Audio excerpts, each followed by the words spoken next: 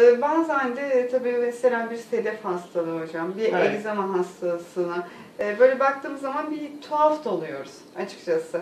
Peki neden sedef ve neden e, egzama hastaları e, böyle bir hastalıkla karşı karşıya kalırlar? Nedir sedef ve egzama? Ya sedef e, normalde cildin hücreleri alttan e, üretime başladığı zaman üst tabakaya geldiğinde bunlar dökülür. Buna e, cildin döngüsü denir. Bazı hastalarda bunun tam sebebi halen belli değil e, sedef hastalığının. Bu döngü çok hızlı artıyor. Artınca da onlar dökülemeden cildin üstünde birikiyorlar.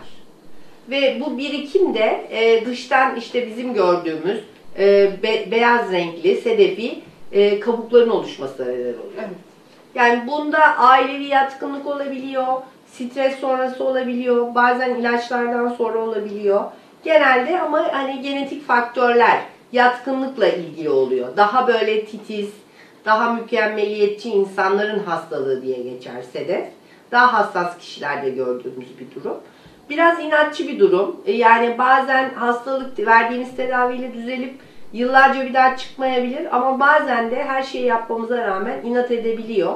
O zaman da farklı tedavilere geçiyoruz. Daha ağır, hani bu kanser tedavisinde kullandığımız ilaçlara benzer daha ağır ilaçlarla hastalarımızı takip ediyoruz.